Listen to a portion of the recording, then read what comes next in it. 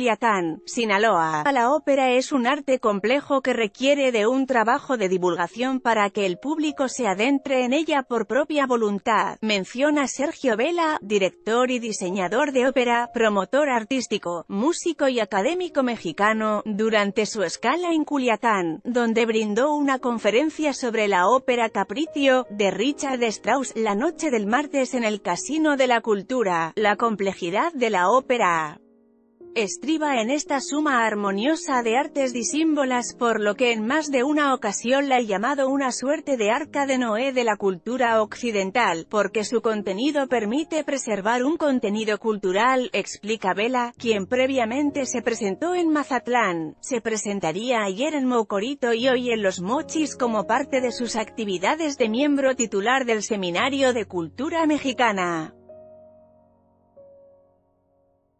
Convencido de la necesidad de la divulgación para que la flama del aficionado se mantenga, prepara un cuaderno sobre la naturaleza de la ópera, que será publicado por el seminario. Sergio Vela, director y diseñador de ópera, foto, El debate. Para Vela, hay actualmente una gran apertura en las óperas que se producen, pero depende del recinto al que se haga referencia, el Palacio de Bellas Artes tiene una programación mayoritariamente conservadora. El público habitual de ahí tiene un gusto un tanto conservador, aunque no falta el sector que pide que haya una ampliación del repertorio. Pero lugares como la Universidad Autónoma de México y en el Centro Nacional de las Artes han hecho grandes presentaciones de óperas nuevas, experimentales de cámara.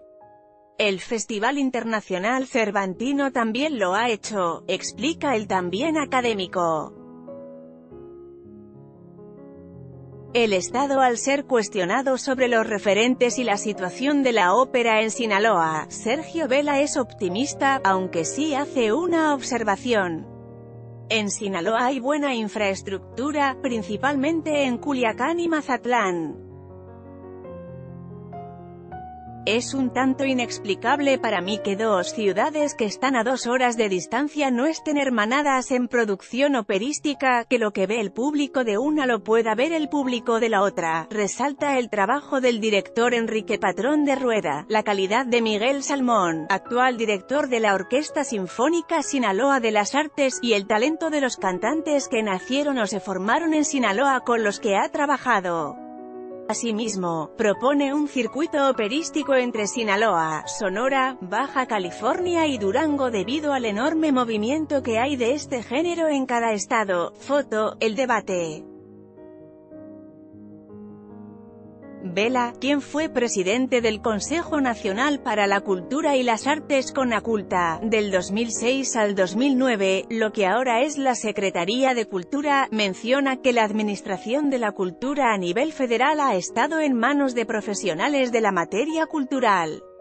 Yo creo que cada uno ha trabajado de la mejor manera con el instrumental tanto institucional como financiero que le ha sido entregado, sin embargo, deplora que en el sexenio del actual presidente, Enrique Peña Nieto, haya habido en más de una ocasión recortes severos al presupuesto de cultura.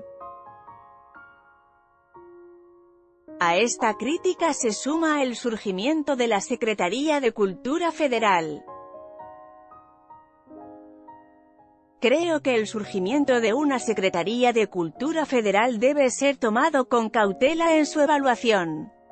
Antaño, la cultura estaba ligada administrativamente al tema educativo, la capacidad económica de la Secretaría de Educación Pública es mayor. Nació una de las secretarías al parecer de las menos favorecidas financieramente.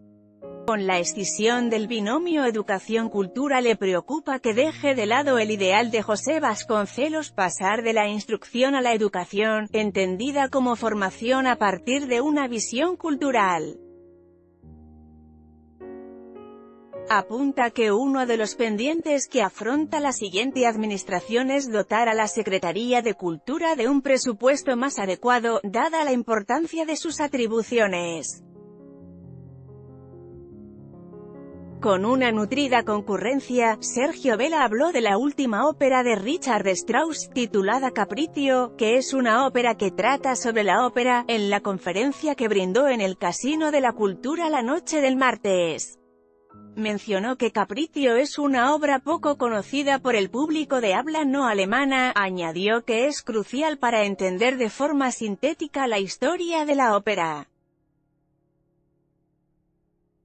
Durante la conferencia se proyectaron fragmentos de Capriccio a la par que Vela realizaba comentarios para que el público comprendiera mejor esta obra. En esta nota, Ópera Culiacán Sergio Vela